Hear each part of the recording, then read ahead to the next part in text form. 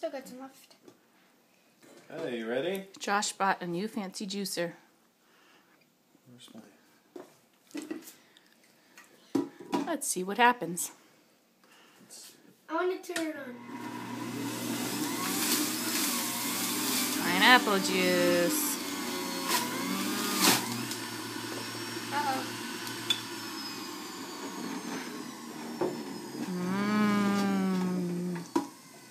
Now what goes Okay. in there? Is that the um, chunks of food?